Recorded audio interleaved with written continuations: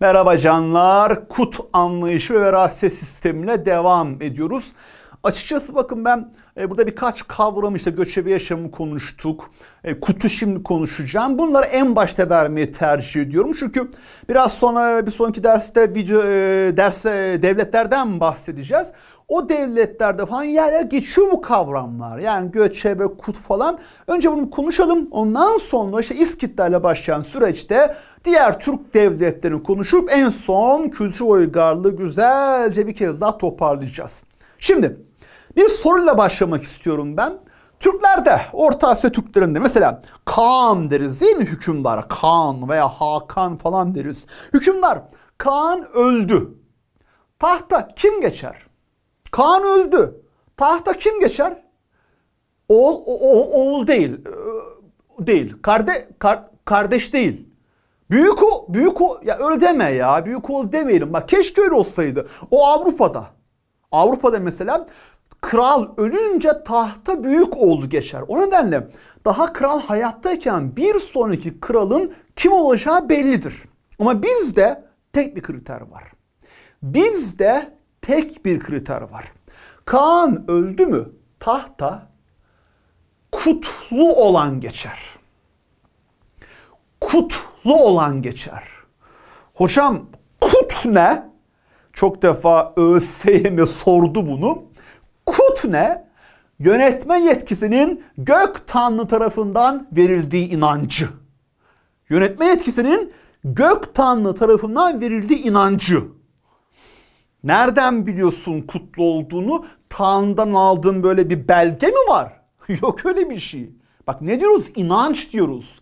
Mesela Birol Kaan karizmatik, artist bir Kaan, güçlü bir Kaan, halkın bağımsızlığını sağlayabiliyorsa, halkın refahını sağlayabiliyorsa, adaleti sağlayabiliyorsa halk mutludur. Birol Hoca kutludur. Bu kadar. Anlatabiliyor muyum? Yani Kaan dediğim kişi halkın temel ihtiyaçlarını giderebiliyorsa, ekonomik refahı, bağımsızlığı, adaleti sağlıyorsa demek ki ha evet ya bir hoca kutluymuş der halk ve bir ol hocanın peşinden gider kardeşim. O yüzden bu bir inanç boyutu. İnanç boyutu olduğu için biliyorsunuz bu devlet yönetiminde inançla ilgili bir kavram vardır. Teokratik devlet, teokrasi falan deriz. Hatırlayınız bunu. Nedir o teokrasi, teokratik devlet? Devletin dini kurallar çerçevesine yönetilmesi. Aman! Orta Asya Türk tarihinde, İslam öncesinde benim hukuk kurallarımda din yok. Devlet yönetiminde dini kurallar yok. Türk tarihinde, Orta Asya'da, İslam öncesinde teokrasiden bahsedemem. Sadece ve sadece tam olarak bu noktada. Yani soru sana kutu verirse yetkinin Tanrı tarafından verildiği inancıdır. Buna göre ne söylersin der ise sadece orada teokrasi yorum yap. Başka hiçbir soruda Orta Asya Türklerinde teokrasi yorumu yapma. Anlatabiliyor muyum bak? Sadece bunu verirse sana. Türklerde kut anlayışı yetkinin Tanrı tarafından verildiği inancı. Bu en göstergesi burada teokraside. Başka hiçbir yerde deme. Bir de şunu da ekleyelim burada. Karizmatik iktidar diye bir kavram var sosyolojide. Bunu 2019 güncellemesinde MEP ilk defa yazdı ve sorgulanmadı. Bence potansiyeldir bu çeşitli sınavlarda her dem gelebilir. Karizmatik iktidar yönetme yetkisinin Tanrı tarafından alındığına inanılan iktidardır. Bunu sakın Tanrı falan görünce Tanrı kral anlayışıyla rahip kral anlayışla karıştırma. Tanrı kral, rahip kral bende yok. Tanrı kral Mısır'da Firavun. Firavun ben tanrıyım diyor. Ey ahali bana itaat edin çarparım sizi. Veya işte Asurlular, Ahatlar, Mesopotamya'da rahip kral vardır. Kral aynı zamanda baş rahiptir. Bunların hiçbiri Türklerde yok. Türklerde sadece gücün kaynağını ben Tanrı'ya bağlamışım. Tanrı'dan aldığım yetki, bu ilişki, gücümü Tanrı'ya bağlamış olmam sosyolojide karizmatik iktidar diye anılıyor. Tamam mı canlar? Kutu gördüğün an karizmatik iktidar de. Tanrı kral deme, rahip kral deme, ne diyeceğim? Karizmatik iktidar diyeceksin. Şimdi bu kutu mantığı akabinde hemen şu akta gelecek. Kut yetkisi, Tanrı'dan aldığım yetki. Bu yetki kan yoluyla babadan erkek çocuklara geçer. Allah'tan erkek çocuklara bir de hatunlara geçeydi vay halimizde işi işinden hiç çıkamazdık. Bak ne alakası var deme kızma bana hatunlar kızma bana bir düşünsene. Yetki kan yoluyla babadan çocuklara geçiyor. Bak düşün dedem devleti kurmuş kutlu kutlu dedem. Yetki dedemden babama geçti. Amcalarıma geçti kutu yetkisi. La amcalardan kuzenlere geçti.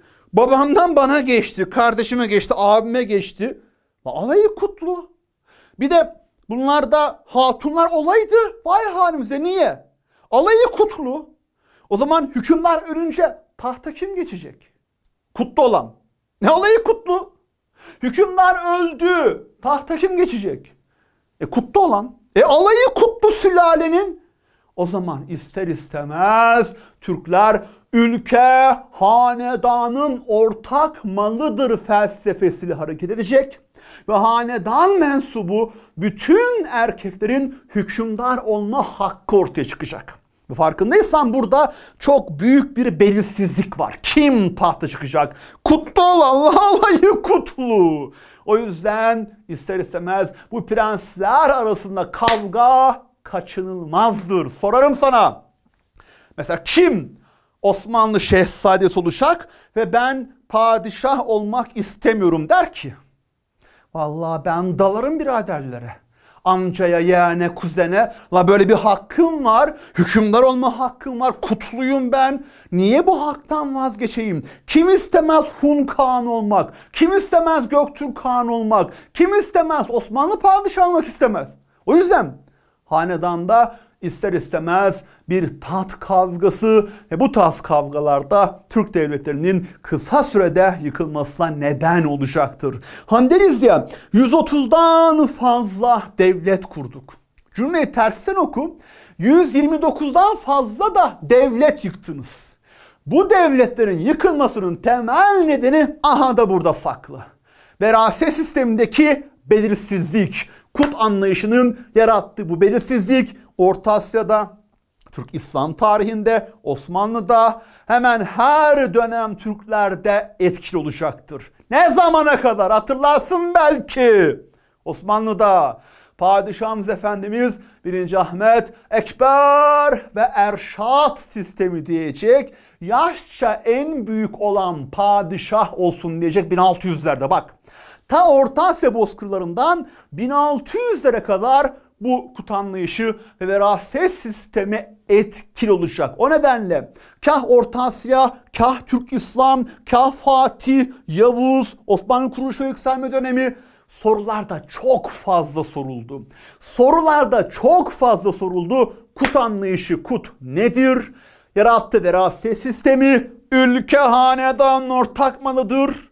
Bu felsefenin yarattığı belirsizlik, tat kavgaları ve Türk devletlerinin kısa sürede yıkılması. O yüzden sana bir daha sorduğumda Türklerde Kaan öldü, hükümdar öldü, tahta kim çıkar dediğim zaman bana oğul deme, kardeş deme, büyük oğul hiç deme. Ne diyeceksin bana? Kutlu olan. Kim kutlu? hanedanın bütün mensupları niye? Kut yetkisi kan yoluyla babadan çocuklara geçiyor. O yüzden bu belirsizliğinde tat kavgalarına neden olduğunu lütfen hatırla diyorum. Merkezi otoritenin zayıflamasında etkili olacaktır bu. İkili sistem diyeceğiz. İkili teşkilattan bahsedeceğiz. Bu anlayışın sonucu olarak madem öyle iki kardeş kardeş kardeş beraber ülke yönetim diyecekler.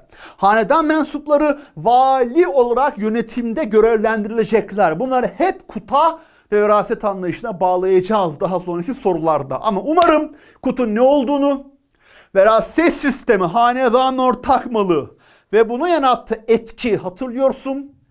Karizmatik iktidar kavramını hatırlıyorsun. Anlatabilmişimdir diye umuyorum sevgili kardeşim. Canlar önemli kavram Bir sonraki dersimizde bu temel üzerine devletlerle yol almaya devam edeceğiz. Görüşmek üzere. Kendinize çok iyi bakın.